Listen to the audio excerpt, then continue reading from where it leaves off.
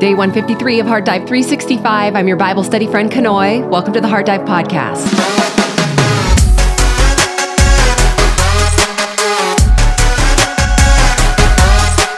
Happy Sunday, friends. If you're studying with us in real time, a big thank you to Holly for covering our Saturday lesson.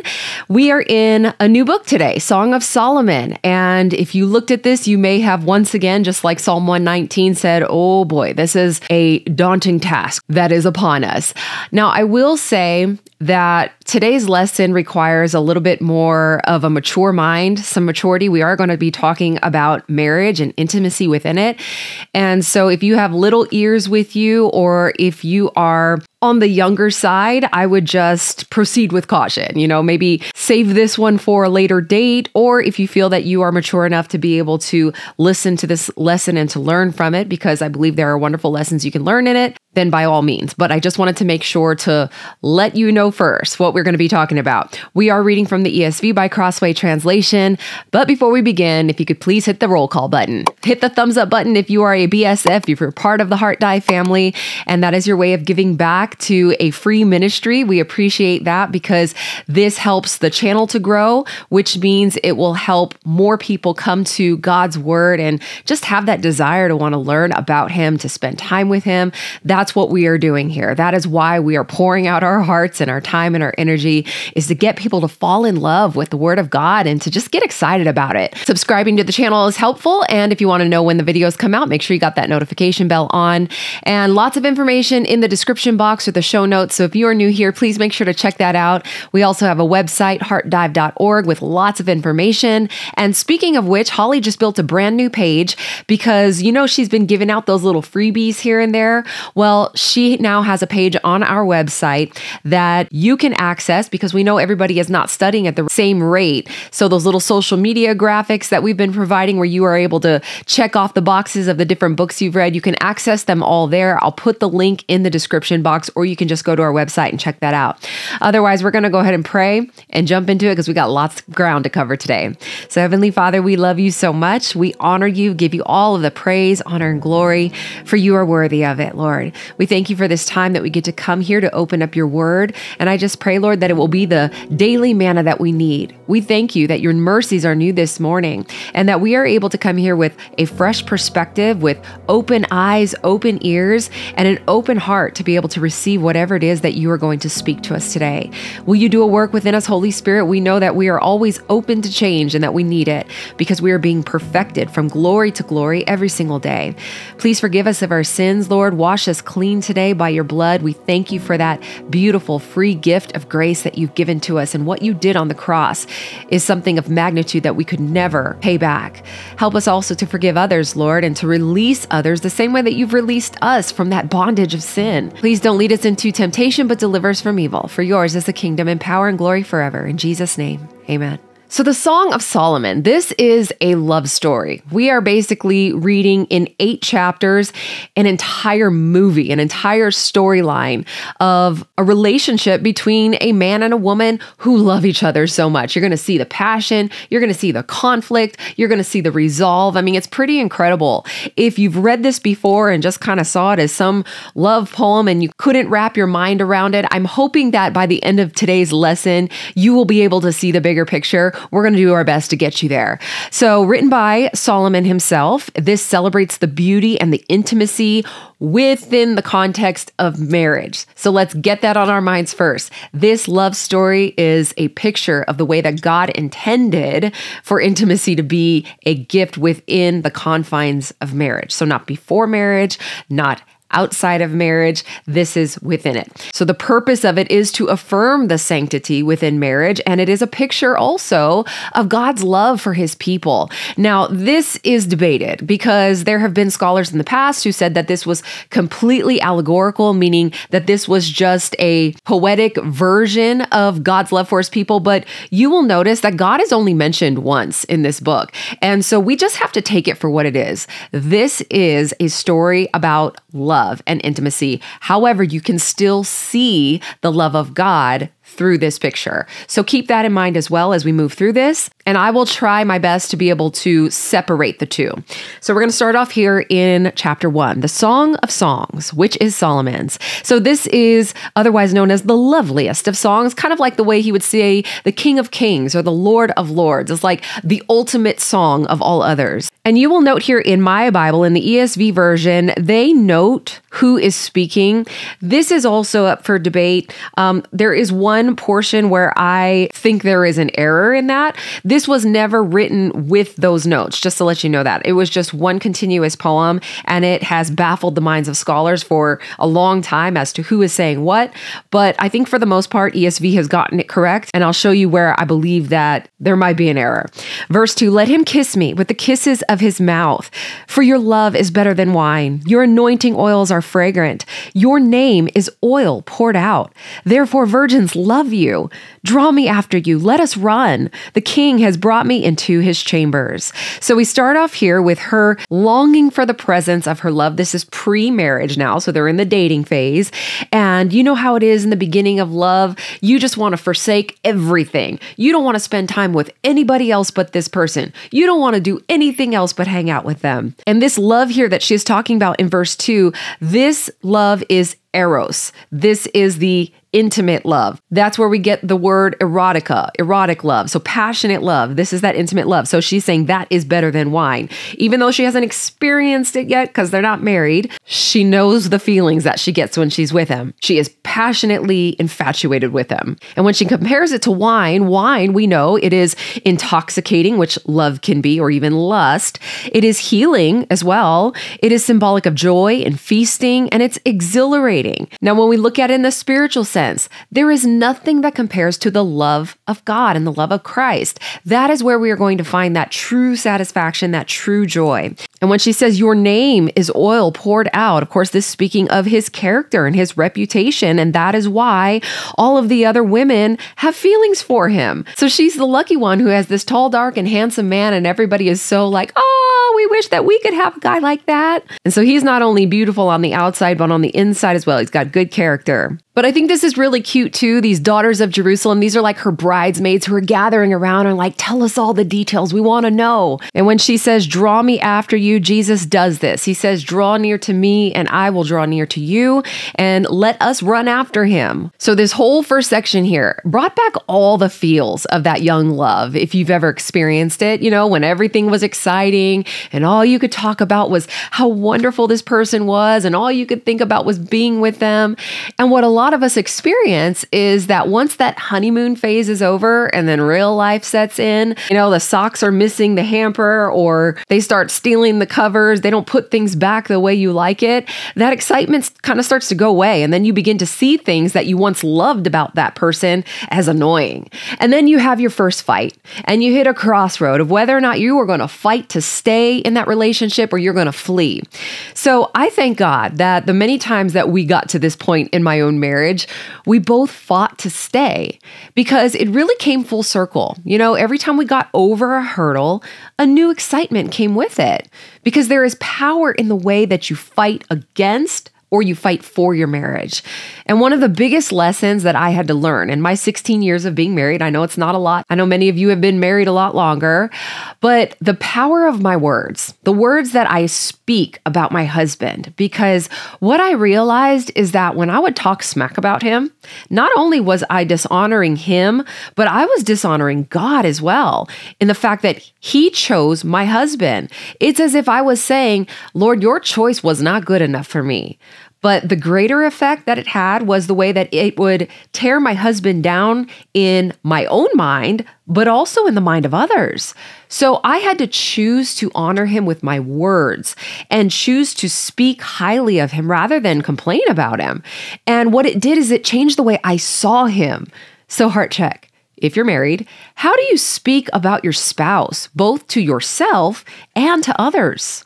And then this portion of the king has brought me into his chambers. This is a picture of the bride being brought into the palace and illustrating the way that she would first have to acknowledge him as king before they would become intimate with each other. It was almost like this acknowledgement of submission. And whenever we talk about an intimate relationship with the Lord, some people aren't able to get to that place and they'll never know of it because they can never bring themselves into the palace. It's almost as if they are unwilling willing to fully commit and fully submit their lives to the Lord, and therefore they never experience that deep connection with Him. So, in a sense, they only stay in the dating phase where they can just come and go as they please and they don't have to answer to anyone. So, heart check Do you have true intimacy with the Lord? Have you come into the palace? Are you fully committed and submitted to Him? And so here enters the others, which otherwise known as the daughters of Jerusalem, her bridesmaids, her friends, and they say, we will exult and rejoice in you. We will extol your love more than wine. Rightly do they love you. So they are rejoicing in this sweet young love. Verse 5, she continues I'm very dark, but lovely. O daughters of Jerusalem, like the tents of Kedar, like the curtains of Solomon. Do not gaze at me because I am dark, because the sun has looked upon me. So, the reason why she is feeling a little bit unworthy or insignificant at this point is because of the fact that her skin is a little bit darker, because she is a woman who works in the fields. And it was known that those who worked in the city were a little bit more pale, I guess, because they weren't doing the hard work in the fields. So, they were higher class, they weren't the working class. And so, she's feeling a little bit self conscious conscious about this. She says, Because the sun has looked upon me. My mother's sons were angry with me, and they made me keeper of the vineyards, but my own vineyard I have not kept. So it's almost like she was Cinderella, you know, with her brothers making her do all the dirty work. Tell me, you whom my soul loves, where you pasture your flock, where you make it lie down at noon. For why should I be like one who veils herself beside the flocks of your companions? So she's longing for him, and she's like, Where are you? I want to be able to find you. And when she says her soul loves him, she loves him with her deepest being. This isn't just a feeling of emotion. This is love that has been built up. It wasn't just fallen into. And then here, when she says, Why should I be like the one who veils herself? She's expressing that she doesn't want to appear as a prostitute who is chasing after him. In other words, she cares about her integrity and her reputation. And the world gives us the advice to just do you, boo, and don't worry about what anybody else thinks. But as Christians, to a certain extent, we have to care what people think because our lives are a direct reflection on Christ. And while his character doesn't hinge upon our character, our character will most certainly taint the perception of God in other people's eyes if we're living loosely. So it's kind of this fine line because at the same time, we don't want to live seeking the approval of people, nor do we want to live a double life so that we don't mess it up. But I do believe that this perception of others can be an accountability partner for us. So, heart check. Do you care about your reputation? Are you concerned about what others see of God's character within you? And then spiritually speaking, we are all tainted. We are all dark, right? We all look at ourselves and like, ugh, what's all this icky stuff on me? All of this darkness and sin. But the Lord looks upon us with so much grace. He looks at us as beautiful, without spot, without wrinkle, and He loves us even in our darkest hour. So now here comes Solomon, verse 8 If you do not know, O most beautiful among women, follow in the tracks of the flock and pasture your young goats beside the shepherd's tents. So he's like, Honey, I've just been working. I'm out in the fields. Come find me. If you want to find me, you'll find me among the flocks. And that's the heart of a shepherd. If you want to find Jesus, Jesus, you got to go among the flocks. In other words, you got to be in fellowship because, again, even though you can have a relationship without ever going to church with Jesus, there is something powerful that happens when you are among other believers, when you are linked with other brothers and sisters in Christ. And when he tells her to pasture her young goats, in other words, he's saying, feed them. The same way that Jesus said, if you want to find me, you're going to have to feed the flocks. And so it is in service also where we will grow our relationship with Christ.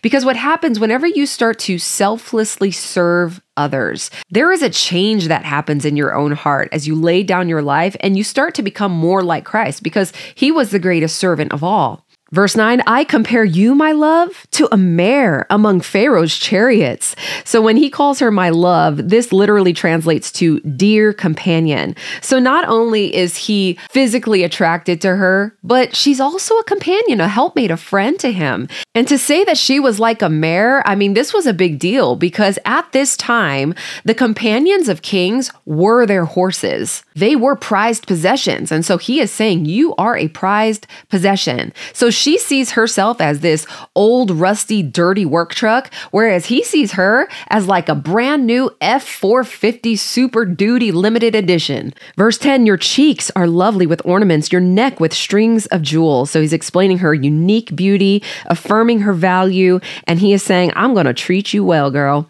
Verse 11 We will make for you ornaments of gold studded with silver. So these are the others proclaiming this. And of course, gold is symbolic of royalty or a monarchy, and silver is the symbol of redemption. So with Jesus, he makes us a royal priesthood and he redeems us. Verse 12 While the king was on his couch, and your translation might read table, my nard gave forth its fragrance. So even though she's a little bit self conscious, she is also very aware of the fact that she has the ability to attract him. She puts off a scent that makes him wild, but she doesn't use it irresponsibly. She uses it in the best way. She's still very modest about it. She's not just bearing it all and allowing everybody else to get tempted along the way. No, she is protecting that for him. And I think this is a good moment to let the young ones know. You know, this has been something that has been so tainted in our society today. I mean, it is so normal now to just see almost the entire body of people being flaunted all over the place. And again, the world will say, "Do you, boo? Who cares what everybody else thinks?" But the thing is is again, we have to care what people think because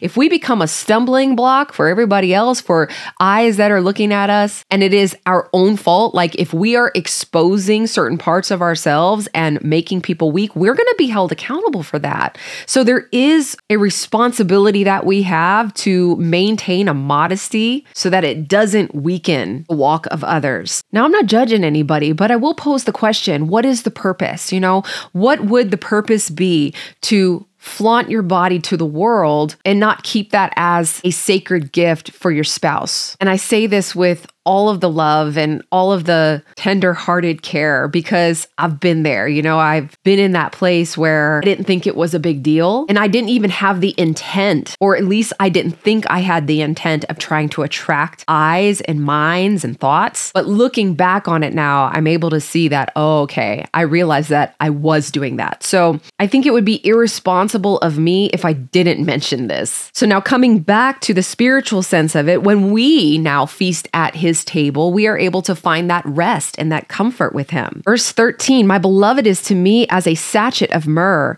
that lies between my breasts. My beloved is to me like a cluster of henna blossoms in the vineyards of Engedi. Okay, so let's break this down. Typically, women would wear these sachets of myrrh as a, like a necklace, so it would lie between their breasts. They would wear this at night, and then in the morning, they would radiate this scent of myrrh. It was a beautiful scent. The cluster of henna symbolizes beauty, life, fragrance, and good health, and this attractiveness. So she's picturing him as lying on her chest, having him close to her, which gives her this rush. You know, when she talks about the vineyards of Engedi, this was a famous oasis in the Judean wilderness where it was surrounded by barrenness, but it was just this one spot that was like lush and really fruitful. But spiritually speaking, myrrh was actually a burial spice. So if we look at the fact that when Jesus was born and they brought gifts of myrrh, it was almost as if they were saying, You have been born so that you can die.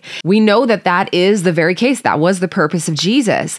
And so the one who is able to hold him close to their hearts, like that sachet of myrrh, hold that death close to their hearts and understand it, know what it means, and apply it to their lives, is going to be the one who has done all of these things, forsaken all others, longs for their presence, submits to Him, commits their life to Him, sees their darkness, receives that gift of grace, lives with integrity, is in fellowship, serves other people. And so that is where that closeness and that intimate relationship comes from. Verse 15 Behold, you are beautiful, my love. Behold, you are beautiful. Your eyes are doves. And so again, we see this love as dear friend and a dove symbolizing purity, innocence, and beauty. And that is what he sees in her eyes, which are windows to the soul, is what we often say. And when the Lord looks into the windows of our soul, you know what he sees? He sees the Holy Spirit. He sees that dove. He sees Jesus within us. And therefore, he sees that purity and that innocence and that beauty. Verse 16 Behold, you are beautiful, my beloved. So she's reciprocating this same kind of speech, truly delightful. Our couch is green. The beams of our house are cedar and our rafters are pine. So this is almost that picture of a couple who is just thinking about their future. They're looking at the house, they're dreaming about where they're going to live. And she is excited about it. She's like, Look how lucky we are. And when we take on that kind of heart, that heart of gratitude, gratitude to say, man, look how blessed we are. That is when we are going to find that contentment and that peace and that rest in Jesus. Chapter 2 I am a rose of Sharon, a lily in the valleys. Now, this is a highly debated verse right here. Some scholars have said in the past that these were poetic titles of Jesus. Even Charles Spurgeon said that this was Jesus advertising his grace, his beauty, so that it would then attract people to want to come to him. But other scholars are like, nope, that's the complete wrong approach because Jesus doesn't do that. He doesn't need to advertise himself, but just looking at it at face value. It's almost as if the bride now is feeling a little more confident, you know, that love has now poured out all of these words of affirmation. And she's like, I am a rose. But you know what? The rose and the lily, these weren't the most beautiful of flowers. They were more common and considered wildflowers. So even though she feels confident and beautiful, she doesn't feel like she is above anybody else. So this is expressing a bit of humility here. As a lily among the brambles, so is my love among the young women. So he's like, No, you're not just a rose or a lily. You are a lily among brambles. So he's literally saying, You are the beautiful flower, and everybody else is a thorn. So he's removing any doubt and he is letting her know that she has extraordinary beauty. As an apple tree among the trees of the forest, so is my beloved among the young men. With great delight, I sat in his shadow, and his fruit was sweet to my taste. He brought me to the banqueting house, and his banner over me was love. So his love for her is public public. He is not ashamed to show that this is my lady and I love her. Now, this word love here is related to agape love. It's more of a common love. So, this is not the eros love we're talking about anymore. So, it seems as though their love is growing. And when she says she takes great delight in his shadow, this is showing the security, that peace that she feels, that protection that she feels when she is near him. Verse 5 Sustain me with raisins, refresh me with apples, for I am sick with love. Now, raisins and apples were ancient symbols of sensual passion. So she is feeling very lovesick here, and she's like, I need you to satisfy me because I can't eat. You know that feeling when you first love a person, you're just like, oh my gosh, I cannot eat. So they still got some heavy attraction going on. His left hand is under my head, and his right hand embraces me. So now she's kind of entering into this daydream, picturing him, imagining him him caressing her, passionately loving her. So she says in verse 7 I adjure you, O daughters of Jerusalem, by the gazelles or the does of the fields, that you do not stir up or awaken love until it pleases. Now, this love here is erotic love, eros. And so this has been debated whether or not this is her telling her friends, you guys guard your purity. You know, we we know that there's this passion before marriage, but don't stir it up. Don't awaken it until you are married. Others have said, no, this is talking about don't stop until you're satisfied. I'm going to leave that to you to interpret as we continue in verse 8. The voice of my beloved, behold, he comes. So she hears him coming. So it's like she's invigorated again. She's like, wait, he's here? Leaping over the mountains, bounding over the hills. My beloved is like a gazelle or a young stag. Behold, there he stands behind our wall, gazing through the windows, looking through the lattice. My beloved speaks and says to me, Arise, my love, my beautiful one, and come away. For behold, the winter's past and the rain is over and gone. So he's like, it's time to rejoice. You know, there's some excitement going on here. We're in springtime. We got a new season to go through. The flowers appear on the earth. The time of singing has come, and the voice of the turtle dove is heard in our land. The fig tree ripens its figs, and the vines are in blossom. They give forth fragrance. Arise, my love, my beautiful one, and come away. So this is him getting off of work. He's excited to go out on a date with her and he's like, let's go, get up. Now, of course, we can see this picture of Jesus. There's nothing too big for him. He can leap over mountains as well to be able to come to us.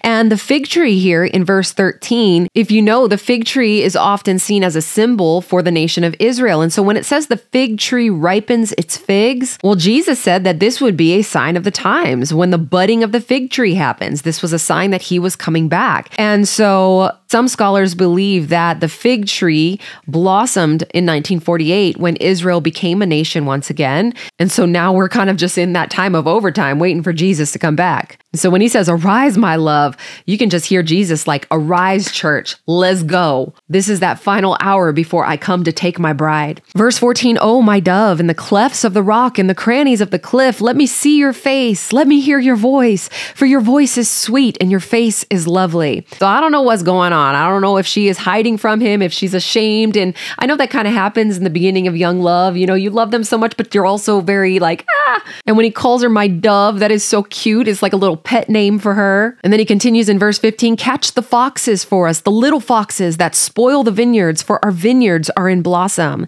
All right, so what are these foxes? Well, if you know foxes, they're very cute, but they're also very destructive. So they would go into the vineyards and they would start to eat at the roots of whatever was there. And eventually the whole vineyard would be spoiled. And so he's like, We got to catch these foxes before we ever enter into our marriage. So, what are potential foxes? They could be uncontrolled desires, unchecked sin, mistrust, jealousy, selfishness, pride, other people, lust. And foxes are not just pre marriage, I mean, they continue well into the marriage, and we always have to protect our vineyard against the foxes. But I remember my pastor once saying that before anybody ever gets married, they should have at least one fight, one big fight, because that is going to be a telltale sign of how they are going to be able to handle conflict within their marriage. So you may as well get it out of the way in the beginning, figure out how to fix things and how to deal with these things before you get into marriage and now you're stuck and you don't know how to deal with it, or you decide to flee because you don't want to deal with it. So, this would all be a part of catching the foxes together. 16. My beloved is mine, and I am his. He grazes among the lilies until the day breathes and the shadows flee. Turn, my beloved, be like a gazelle or a young stag on cleft mountains. So, when she says, My beloved is mine and I am his, this is speaking of that mutual intimacy and the fact that they will eventually join together as one. But until then, she feels this strong passion and she knows that she's got to get it under control. So, she's like, I need you to flee like a gazelle right now before things go a little too far. This is very wise in the sense that she is saying we need to flee from our youthful lusts. But of course, looking at this and the way that we see Jesus, we are his, we are his treasured possession, we are his children, we are his gift, and he is ours. And we could name a whole bunch of things that he is to us. So now we enter into this daydream of hers in chapter 3. On my bed by night, I sought him, whom my soul loves. I sought him, but found him not. I will rise now and go about the city, in the streets and in the squares. I will seek him, whom my soul loves. I sought him, but found him not. The watchmen found me as they went about in the city. Have you seen him, whom my soul loves? Scarcely had I passed them when I found him, whom my soul loves. I held him, and I would not let him go until I had brought him into my mother's house and into the chamber of her who conceived me. I adjure you, O daughters of Jerusalem, by the gazelles or the does of the field, that you not stir up or awaken love until it pleases. So, in this dream, once again, she is longing for him. She's probably regretting the fact that she made him flee. And so, when she goes out into the city in this dream and she goes to find him, she grabs a hold of him. She's never going to let him go. She is picturing herself bringing him to her mother's house to be able to get that approval from her family, which is something that would happen prior to a marriage before the wedding night. And once again, she repeats that phrase that do not stir up or awaken love until it pleases. One of them said that this was actually Solomon saying, Hey, you know what, guys, let her go ahead and rest. Don't awaken her.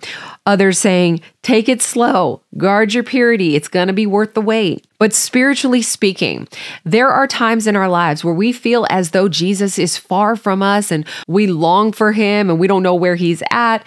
And so we will have to go running after him. We will have to go seeking him. But that's what Jesus says keep seeking, keep knocking, don't stop and refuse to let go go once you do find him. And recognize the place that you find him in because it's there where you'll be able to return once again if you ever do find yourself going off of the path. And so now here in verse 6, this is where ESV says that this is Solomon speaking of his own arrival for the wedding, but I think this is more of the bride. And one of the reasons that I see is because this word that in the Hebrew is female and it is singular. So, what is that coming up from the wilderness like columns of smoke? So, if there is this image of something coming toward you as an image of smoke and it is feminine, then that gives us the idea that this is the bride coming to the groom. Again, another reason why I think this may be the bride with all the fragrant powders of a merchant. Behold, it is the litter of Solomon. Around it are 60 men, some of the mighty men of Israel, all of them wearing swords and expert in war, each with his sword at his thigh against terror by night. So these would be the men who go and get the bride to bring her to Solomon because that is what would happen. The king's men would go and get the bride and bring her. King Solomon made himself a carriage from the wood of Lebanon. He made its posts of silver, its back of gold, its seat of purple. Its interior was inlaid with love by the daughters of Jerusalem. So, this is a picture of this couch that he created where the men are carrying the bride on top of this couch. So, if you are going to go with the idea that this is Solomon, this would be him sitting on this couch, the men carrying him. It doesn't really matter who it is. This is just the picture I'm seeing in my brain. Go out, O daughters of Zion, and look upon King Solomon with the crown which his mother crowned him on the day of his wedding, on the day of the gladness of his heart. So, of course, his crown being a symbol of honor and joy. Some scholars have said this wasn't his actual weighty crown of royalty. This was either a different crown of jewels or a different crown made out of some other sort of materials in nature. So now the wedding has taken place. That was the wedding. We didn't get to see the I do's, but just imagine that they happened. And now in chapter four, we've got the first wedding night things are about to get steamy. All right. If you ever thought the Bible was boring, you you obviously didn't read the book of Song of Solomon. Verse 1 Behold, you are beautiful, my love. Behold, you are beautiful. Your eyes are doves behind your veil. So, this is that picture of her wearing that veil where he can only see her eyes. And this symbolic of her purity, her innocence, and her beauty once again. Your hair is like a flock of goats leaping down the slopes of Gilead. Now, if somebody told me that I have goat hair, which I'm pretty sure my daughter tells me every day, Mommy, your hair is dead. It looks like a horse's tail, which it does, but that's fine. I do need a haircut. But he is saying your hair is long and it is flowing. It is gorgeous. He's building up her confidence here. Your teeth are like a flock of shorn ewes that have come up from the washing, all of which bear twins, and not one among them has lost its young. She's basically saying her smile is beautiful. It's clean and white. Your lips are like a scarlet thread, and your mouth is lovely. So, interestingly enough, back then, thin lips were actually in. So, nobody was injecting their lips in this time, and he loved it. It's lovely. Your cheeks are like halves of pomegranates behind your veil. So, this pomegranate, speaking of the sweetness of her cheeks, probably very blushed and flush at this time. She's got a natural bronzer. She doesn't have to put highlighter on there. Your neck is like the Tower of David, built in rows of stone. Now, the Tower of David was built up on the hilltop, and typically there were shields that were hung from the tower, and this would symbolize that there was peace in the land because if the shields were gone, that means that the men were out at war. So he's describing her as that peaceful tower. On it hang a thousand shields, all of them shields of warriors. Your two breasts are like two fawns, twins of a gazelle that graze among the lilies. So they're still perky and young, okay? Until the day breathes and the shadows flee, I will go away to the mountain of myrrh and the hill of frankincense. So this is a picture of them being secluded and they are surrounded by all of these beautiful scents, these sweet fragrances of love. You are altogether beautiful, my love. There is no flaw in you. Come with me from Lebanon, my bride. Come with me from Lebanon. Depart from the peak of Amana, from the peak of Senir and Hermon, from the dens of lions, from the mountains of leopards. You have captivated my heart, my sister, my bride. You have captivated my heart with one glance of your eyes, with one jewel of your necklace. Now, if you thought this was a little weird that he calls her his sister, well, this is really just calling her his family now. Like now that they are consecrating their marriage, they have become one. So this is actually speaking of like like a permanence in their relationship. How beautiful is your love, my sister. Now, this is Eros love, so he's digging this time together. My bride, how much better is your love than wine, and the fragrance of your oils than any spice. Your lips drip nectar, my bride. Honey and milk are under your tongue. The fragrance of your garments is like the fragrance of Lebanon. And there was one commentary which I had to laugh my way through a lot of the commentary because I'm like, man, the things that these scholars wrote, I was like, okay. But there was one who was saying French kissing was around before the French. I don't know if that's what they're talking about, but I was like, okay, I can see it. Verse 12, a garden locked is my sister, my bride, a spring locked, a fountain sealed. So this is speaking of her virginity. And now he gets this beautiful gift of purity. This was a big deal back in the day. It should still be a big deal today, but unfortunately that has been tainted. But this garden is speaking of this privacy, you know, like everybody who had a garden, it would be within the confines of their own property. Uh, there was no random planting. You know, you had a plan for it. So it was reserved for a specific home and a specific purpose. And it was life giving, it was sacred, and it was secure. That is what virginity should be like. And it's very refreshing and delightful for the couple who comes together on their wedding night. Verse 13 Your shoots are an orchard of pomegranates with all the choicest fruits, henna with nard, nard and saffron calamus and cinnamon with all the trees of frankincense, myrrh and aloes with all choice spices, a garden fountain, a well of living water, and flowing streams from Lebanon. So things just got real spicy right there, okay? We're to go back now and look at this in the spiritual sense and what all of these beautiful things of the body represent.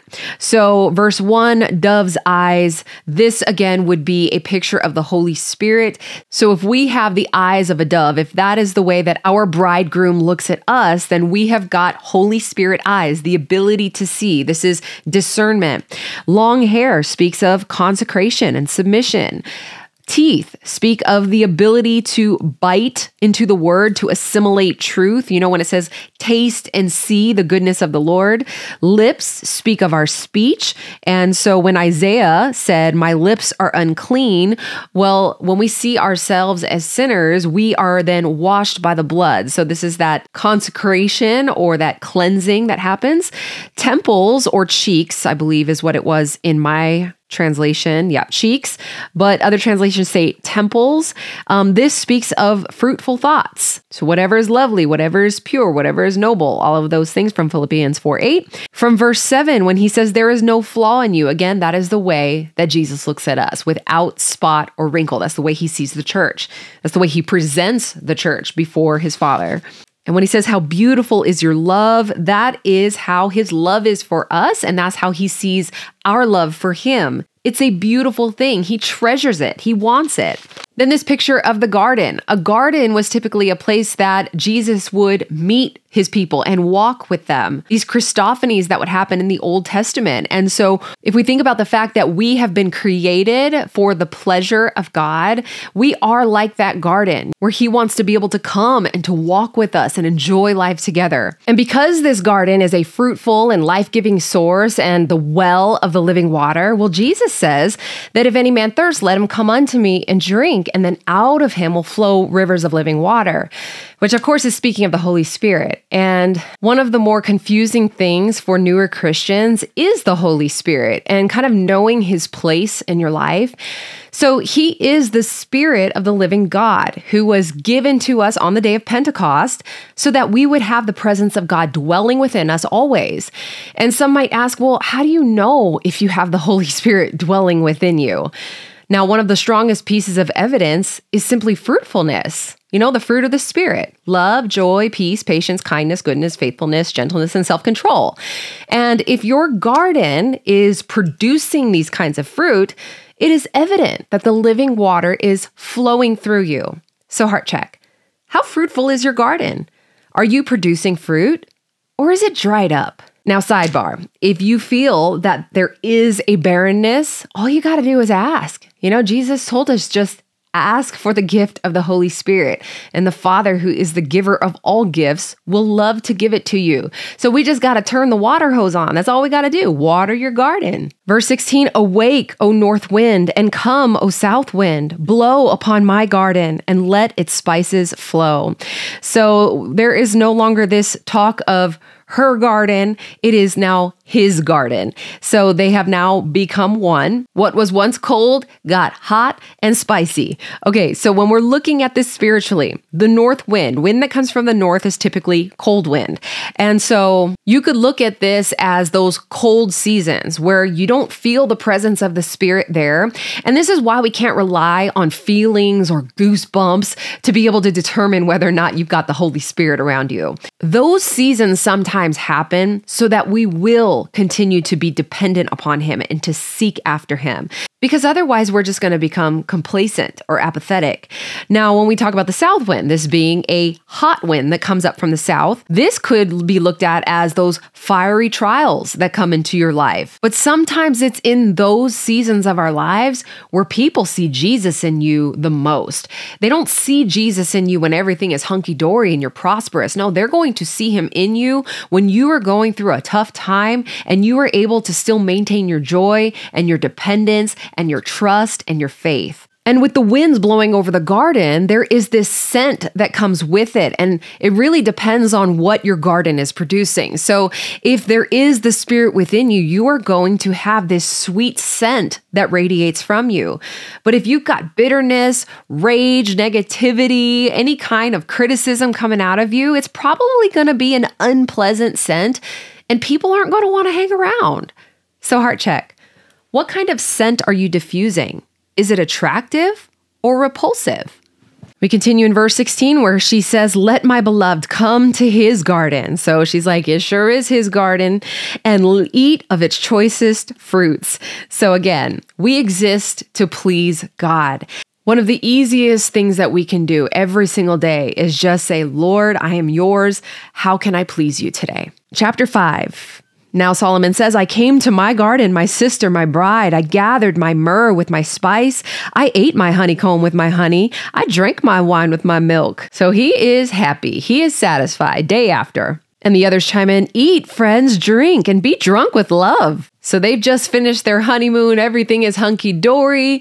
But now that the honeymoon is over, we're going to enter into the conflict of life, you know, when real life begins to set in. Verse 2 I slept, but my heart was awake. A sound, my beloved is knocking. Open to me, my sister, my love, my dove, my perfect one. For my head is wet with dew, my locks with drops of the night. So it's almost like he's knocking on her door, like he's just come home from work and she's tired. And he's like, honey. And she's like, uh uh-uh. uh I mean, that's what I'm picturing anyway. Verse three I had put off my garment. How could I put it on? I had bathed my feet. How could I soil them? So she's like, I just took a shower. I don't want to get dirty. My beloved put his hand to the latch, and my heart was thrilled within me. I arose to open to my beloved, and my hands dripped with myrrh, my fingers with liquid myrrh on the handles of the bolt. I opened my beloved, but my beloved had turned and gone. So now that she is opening up that door, he ain't there. My soul failed me when he spoke. I sought him, but found him not. I called him, but he gave me no answer.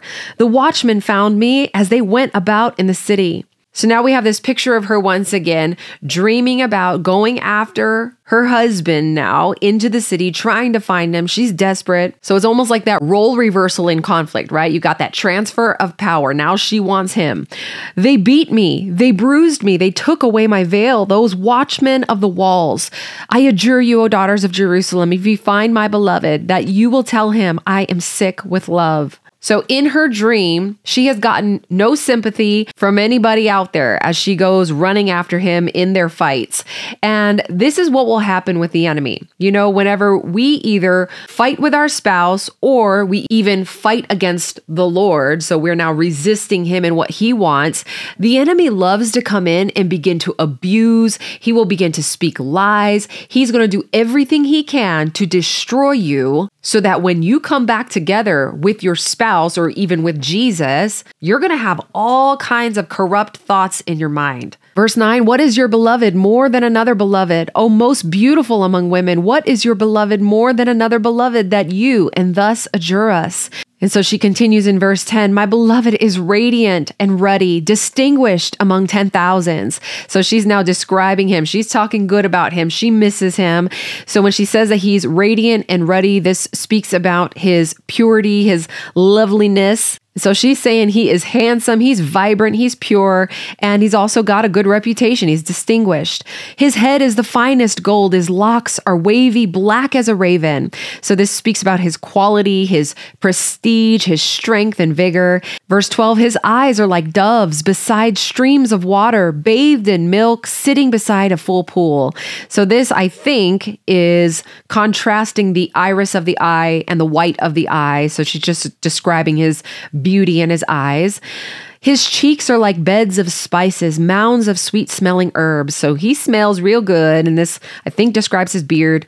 His lips are lilies, dripping liquid myrrh. His arms are rods of gold set with jewels. So this is speaking of his kingly glory and his strength. His body is polished ivory bedecked with sapphires. His legs are alabaster columns set on bases of gold. So he's got muscles and he's got some stability going on. His appearance is like Lebanon, choice as the cedars. His mouth is most sweet, and he is altogether desirable. This is my beloved, and this is my friend, O daughters of Jerusalem. So she's regretting fighting with him, just coming back to remembering why she fell in love with him, why she's missing him. And this is important for us, you know, again, to come back to that place of where you found them in the beginning. Most of us didn't come into our marriage with regret already. You know, we came into it all like goo goo gaga, excited about our person, and somewhere along the line, those things that we once saw in them, we don't see anymore, you know? So this is what is happening here. We got to come back to that place where we first found them. And up to this point, this book has been pretty steamy, but here we see that this couple's relationship went well beyond the bedroom because she calls him her friend. And one of the biggest reasons that you will see relationships fail, particularly marriages, is because the relationship was built only on physical attraction and feelings. And then once that fades, what do you have left? And this can also happen with our relationship with Christ because if we base it on feelings and then you hit a dry season, you're going to end up discouraged. But it's the ones who keep coming back to cultivate that friendship who have relationships that will continue to grow. And then the rest will end up discouraged and they'll eventually fall away. So then how do you cultivate that friendship? Well, you got to spend the time, you know, more than just 5 minutes a day. Because yeah, you might like the person, but you got to truly get to know them. You got to spend the time. So heart check. What kind of relationship do you have with Jesus? Do you spend the time getting to know him? Or do you see the time spent as an inconvenience? Chapter 6 where has your beloved gone, O most beautiful among women? Where has your beloved turned, that we may seek him with you? Now, I don't know if they're being antagonistic here or if they're being supportive, but either way, they're like, let us help you find him. Verse 2 My beloved has gone down to his garden, to the beds of spices, to graze in the gardens and to gather lilies. I am my beloved's, and my beloved is mine. He grazes among the lilies. So she realizes, ah, he just went back to work. And so now she's feeling a little bit more confident. She's got a booster in there, regardless of the fact that they are separated. And he says, You're beautiful as Tirzah, my love, lovely as Jerusalem. So now we see them back together again. I love the fact that he meets her with praise. You know, he doesn't come back and be like, Where were you? What were you doing? Awesome as an army with banners. Now, for a king, an army coming at him with banners is a wonderful sight. Verse 5 Turn away your eyes from me, for they overwhelm me. Your hair is like a flock of goats leaping down the slopes of Gilead. Your teeth are like a flock of ewes that have come up from the washing. All of them bear twins. Not one among them has lost its young. Your cheeks are like halves of a pomegranate behind your veil. There are 60 queens and 80 concubines and virgins without number. Now, I don't know when Solomon wrote this. I don't know if this was about his first love. I always kind of thought it was because I'm like 700 wives and 300 concubines. I can't imagine that somewhere in between there is where he had this kind of love for a woman. But then here we kind of see that maybe it was in the middle of it somewhere. I don't know. My dove, my perfect one, is the only one, the only one of her mother, pure to her who bore her. So either she is the only one at this point or this is his favorite wife. But again, he's giving her confidence. The young women saw her and called her blessed, the queens and concubines also, and they praised her. Now, we can look at this as a picture of the church because, of course, there are plenty of people in the kingdom of God and in the church. But of course, Jesus only sees it as one. We are just one church that he looks upon with beauty. Verse 10 Who is this who looks down like the dawn, beautiful as the moon, bright as the sun, awesome as an army with banners? And so here this is that picture of him looking with beauty upon his bride. But when we do get this picture of the way that God looks at his church or his people, this is the church in her glory. You know, people come to church because it is a light that shines out of the dark world, or at least that's what we're supposed to be. So the things that light up the church or us is the way that she looks down like the dawn. So, in other words, we are able to wake up each morning to new mercies with a new perspective. And no matter what comes our way, we are able to face it head on, knowing that God is our strength, that we are more than a conqueror, that we will not fail. But if we wake up and look to everything else in the world to give us that strength and that confidence, our light will begin to dim. So, heart check. What lights up your morning? Do you see each day as a new opportunity to shine the light of Christ? And then the second thing that illuminates the church is the light of the world. It is Jesus who shines his light upon us, and then we reflect his glory. So we're kind of like the moon that is charged to bring forth light in the dark places. But if we allow the world to get between us and the sun, we're going to be eclipsed instead of allowing us to be that full moon that God intended. So, heart check. What moon phase are you in? Are you a full moon, waxing gibbous, crescent? How much light are you projecting? And then while we project light into the world, we also project an even brighter light in the eyes of the Father because we are like the sun. He literally sees Jesus in us. So we are being refined and purified every single day that we are on this earth and breathing. But the greatest light that we can shine is unity you know, the unity of the army. And that is why the enemy fights so hard to divide the church, to get us to fight among and against one another. His whole mission is to divide and conquer. And if the church is fighting against itself, then who is left to defend those who are out in the world and vulnerable to his attacks? And remember in chapter 2, verse 4, when she said, His banner over me is one of love. So that's our mission. We are to be a united front with a banner of love over us because that's where the real power comes from. And as we draw nearer to the end, the enemy is going to continue to skew the view of the church as a militant enemy of hate. And it's already happening, which is why we have to fight even harder to love people. So, heart check. How much love are you projecting? Are you standing in unity with the church or looking to divide and conquer? Verse 11, I went down to the nut orchard to look at the blossoms of the valley. So she's going down to her homeland, to the Garden of Nuts. And I was like, that's a really good name for a church. You know, we got all these beautiful names like New Hope and Inspire and Hope Chapel. I'm like, can you imagine having a church called Garden of Nuts? I feel like that's more fitting, but don't want to offend anybody. To see whether the vines of, whether the pomegranates were in bloom. Before I was aware, my desire set me among the chariots of my kinsman a prince. So it's as if it is springtime once again, and she is reunited with her love. Verse 13 Return, return, O Shulamite, return, return, that we may look upon you. So here the bridesmaids are kind of like, snap out of it, sister. You're the queen and you have got other matters to tend to. And sometimes we need this kind of jolting because we can sort of get into this space of being on the mount and not ever wanting to leave it. You know, kind of like that time whenever the three guys were on the Mount of Transfiguration and Peter was like, let's just build tents. It is good for us to be here, Lord. We don't want to go anywhere. Let's just camp out. But the Lord was like, nope, we got to get out into the streets. We've got work to do down there. So, as much as we want to stay in these safe spaces and places of glory, we too are called to go out into the world. So, heart check. Are you getting off the mount or are you staying within the safety of the holy huddle? And we end here. Why should you look upon the Shulamite as upon a dance before two armies?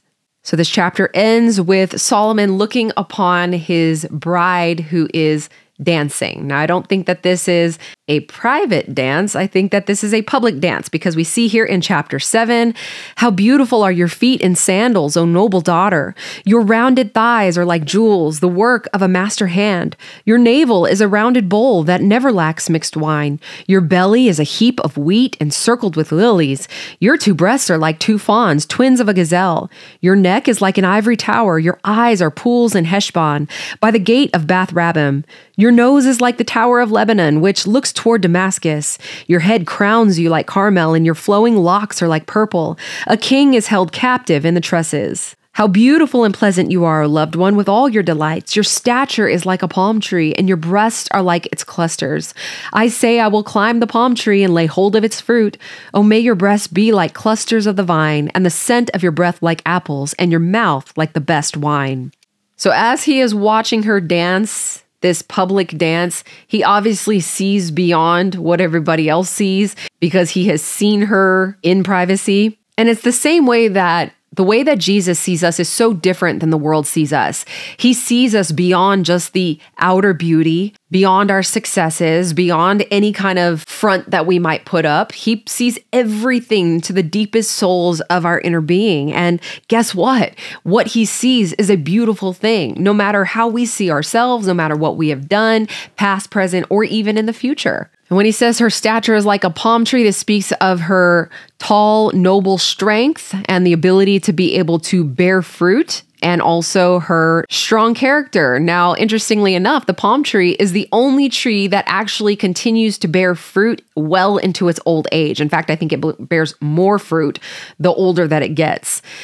Verse 9, it goes down smoothly for my beloved, gliding over lips and teeth. I think she's speaking of wine, but she is reciprocating and recognizing the goodness going on here. I am my beloved's, and his desire is for me. So she is not looking at his desire as a burden the way that she once was when she's like, I'm tired. I just took a shower. Verse 11 Come, my beloved, let us go out into the fields and lodge in the villages. Let us go out early to the vineyards. So they're like, Let's go on vacation now. Let's get away and see whether the vines have budded, whether the great blossoms have opened and the pomegranates are in bloom. There I will give you my love. So she's initiating it here. The mandrakes give forth fragrance, and beside our doors are all choice fruits, new as well as old, which I have laid up for you, O my beloved. Now, these mandrakes are known as the love love apple. This was an aphrodisiac that was used back in this day. So, this tells me that you have the permission to be creative within the confines of marriage in your intimacy. They use mandrakes. I don't know what other people are going to use. Please do not email me and ask me, is this okay that we are doing this in marriage? I am not your counselor. You got to find somebody else to ask those questions to. But that is how I interpret that, that we can be creative as long as you are thinking about intimacy as an act of worship to the Lord? Is this honoring to God? And now we are in chapter eight. This is kind of like Thanksgiving break. You know, now they're going to go home to their families. They have been married. They went on their honeymoon. They had their first fight. And now they got to go see their mother in law. Oh, that you were like a brother to me who nursed at my mother's breasts. I know that sounds weird and freaky, but again, this is speaking of permanence. Like she just wants him to be with her all the time. If I found you outside, I would kiss you and none would despise me. So kissing family members, that kind of public display of affection was actually accepted. And so she's like, I would be this way with you. I would lead you and bring you out into the house of my mother, she who used to teach me. So again, this would be that approval of the family members. I would give you spiced wine to drink, the juice of my pomegranate. His left hand is under my head, and his right hand embraces me. I adjure you, O daughters of Jerusalem, that you do not stir up or awaken love until it pleases. So here, poetically, we see this punctuation or this exclamation of the joy of intimacy being spoken here. Verse five Who is that coming up from the wilderness, leaning on her beloved? So now that she's coming home, they're like, wait a minute, who's out there hand in hand? You know, it's almost like she's got her arm in arm with the king. And they're like, who's that coming up? Of course, a picture of us leaning on our Jesus. Under the apple tree, I awakened you. There your mother was in labor with you. There she who bore you was in labor. Set me as a seal upon your heart, as a seal upon your arm. Now, this seal speaks of ownership and their commitment. So she wants this to be a long time thing. For love is strong as death, jealousy is fierce as the grave. Now, this is a good kind of jealousy. This is the kind of jealousy that will protect a relationship, not the kind of jealousy that will try to control a relationship or control a person. So, this is a passion, a good passion. Its flashes are flashes of fire, the very flame of the Lord. So, this is speaking of a persevering flame of love. Many waters cannot quench love, neither can floods drown it. If a man offered for love all the wealth of his house, he would be utterly despised. So, in other words, money cannot buy love. And this gives us this picture of the fact that our works cannot buy our salvation. We cannot do anything that is going to make God love us. He already loves us. And there's nothing that can separate us from that love. So there's no amount of tithes or offerings that you give. There's no amount of prayers that you can throw up. There's no amount of check marks, of heart checks, or even reading the Bible in an entire year that is going to win his love or, or make him love you more. We do these things because we love him. This is out of our devotion for him, our love for him. This kind of takes the pressure off, you know, for us to just just enjoy the love of God. Stop trying to work for it. So I'm not saying stop reading the word and stop doing your devotions and stop tithing and all that. That's not what I'm saying. I'm just like, if you're seeing it as a means or a way to be able to earn his love, you got to change your perspective because that's not going to get it. You already have it. Verse 8 we have a little sister. So now we're looking back. This is a reflection of her brothers before the marriage, okay? We have a little sister and she has no breasts. What shall we do for our sister on the day when she is spoken for? If she is a wall, we will build on her a battlement of silver. But if she is a door, we will enclose her with boards of cedar. All right, this is speaking of purity now. And purity was a big deal in society back then because without it, the family wouldn't be able to sell off their daughter to a quality suitor. So her brothers here are vowing to build her up in her strength if she shows self discipline and the ability to be able to protect her purity. But if she is going to live loosely before she gets married, they're going to wall her in so that they can protect her and her purity themselves. So her freedom is in her hands. And in some societies, this is still emphasized, maybe even overemphasized, while the rest of us really overlook this. But it isn't overlooked by the Lord. Our purity is still so highly valued. It is still such a gift that He gives to us. And thankfully, by His blood, we are washed clean. So, this isn't just speaking of sexual purity. This is a purity in the highest sense that we still have to work to protect. And whenever we do, this is the door to true freedom. Whereas if you live loosely and you live in sin, that's the thing that's going to keep you walled in. So, heart check. Are you protecting your purity? Verse 11 Solomon had a vineyard at Baal Hamon. He let out the vineyard to keepers. Each one was to bring for it fruit, a thousand pieces of silver. My vineyard, my very own, is before me. You, O Solomon, may have the thousand, and the keepers of the fruit, 200. So it's as if her man is her new vineyard that she has to keep. And so we're seeing this picture of this healthy marriage. And so he continues in verse 13 O you who dwell in the gardens with companions listening for your voice, let me hear it. So he's now calling out for her Make haste, my beloved, and be like a gazelle or a young stag on the mountains of spices. So remember when she sent him away before, like a gazelle? Now she's calling for him to return quickly. And this gives us this picture of us calling out to Jesus to return in haste, to come quickly for his second coming. So, once again, this was this beautiful picture of intimacy of sex and the gift that it is to be within the confines of marriage. It is something to be seen as beautiful. It is an act of worship within marriage. And again, that is why Satan tries so hard to pollute it and to pollute it at an early age. I know the things that I saw as a young child, and it polluted the way that I viewed sex. We have to work extra hard to be able to keep it holy, to keep it within marriage, to honor it, but then to enjoy it for what it was intended to be. And the reason why there is such an emphasis on not partaking in premarital sex is because you know that there is a hormone, there is a release of chemicals within the body within this act. And so, what happens is, whenever it happens outside of marriage, you're going to continue to crave that high the same way you would with a drug, because that's what it ends up being like. Lust ends up being like a drug where you keep on craving it and coming back for more and more and more.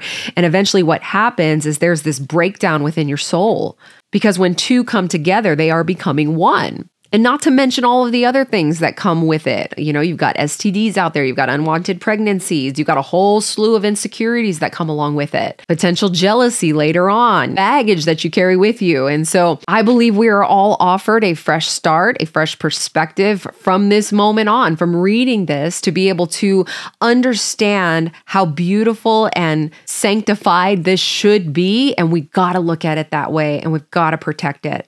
So, taking a look at some of our deep dive questions, describe the character of the woman and the character of Solomon. How do these qualities cultivate a healthy marriage?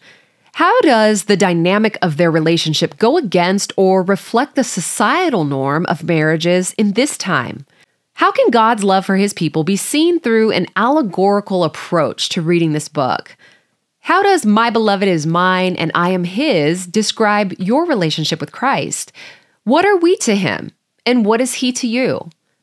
What role does the chorus of Daughters of Jerusalem play? How is love portrayed in this book? And how does it compare to the love that you know? So, Heavenly Father, we thank you so much for the love that you so beautifully encapsulated through the love of Solomon and his bride.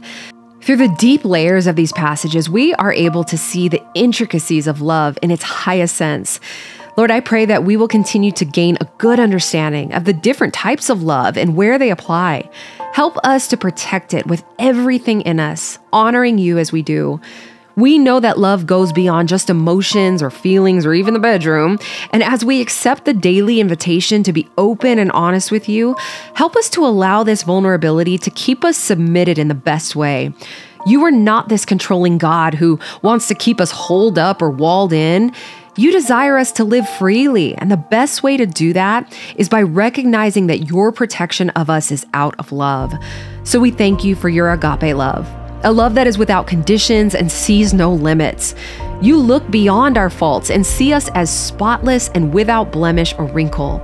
So we thank you for loving us in our darkest hours and for speaking over us words of affirmation, joy, peace, and encouragement. Help us to hear those, especially when the enemy tries to say that we are unloved or tarnished. Because that may be true.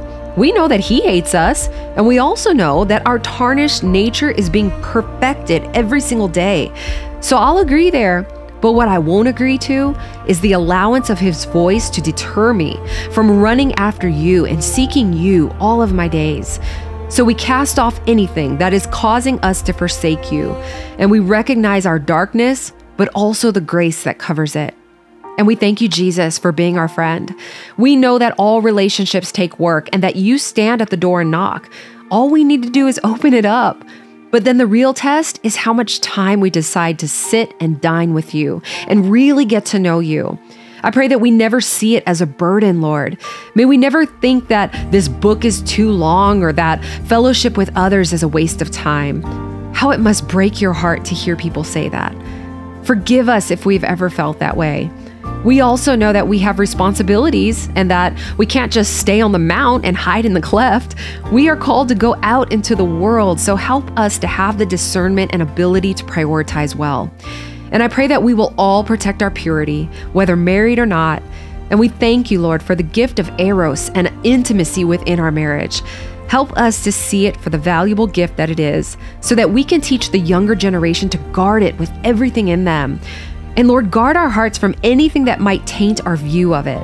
Keep us from watching things or from participating in conversations that will defile our thoughts. That's where it begins. It begins in our minds. So may we take our thoughts captive and make them obedient to Christ. And Lord, we pray for a special blessing over marriages today. I pray that we can all come back to the place that had us smitten in the first place. Help us to see our spouses for the gift that they are, and I pray they'll see us the same. Work on our hearts so that we can be the best partner and helpmate. And we know that you will do a work in our other half. So we lay that desire to control or change them before you. We place our marriages at your feet. We submit ourselves to you first because we are your servant. We commit our intentions, our faithfulness, and our trust to you, knowing that you are the wellspring of our marriage. So may we keep you at the center of it always. Give us a heart for our spouse, Lord. Help us to respect the purpose that you have for their lives as much as we do our own. We pray for healing and restoration upon those who may be struggling right now. Give us wisdom in how to deal with brokenness and hurt and betrayal. And may love cover all offenses. Lord, teach us to honor you in the way that we support and bless and encourage one another. I pray that our marriages will be a light in a dark and broken world, and may we bear fruit that continues to grow well into our golden years. And for those who may not be married yet, Lord, and still waiting for the one that you have for them, strengthen their faith and their patience today as they wait.